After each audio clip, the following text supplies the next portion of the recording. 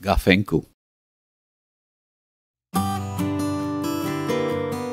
So I had to be like, okay, if you came into my restaurant and you were surprised that it was delicious, it was one thing, right? But when you're expecting it to be delicious because you have an award, it's a different thing. So is it best female chef of Asia delicious? Then we had to, you know, redefine what that meant.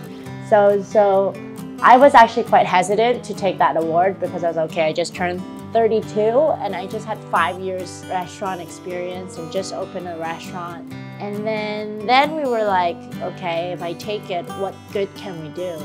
I just wanted to live very publicly in terms of whether it was my struggles or the positivity or whatever it was I could share that I thought could influence the younger generation to take a chance because my thing was like, I'm not even that special. If I can do it, I'm pretty sure a lot of kids can figure it out how to, you know, do it as well.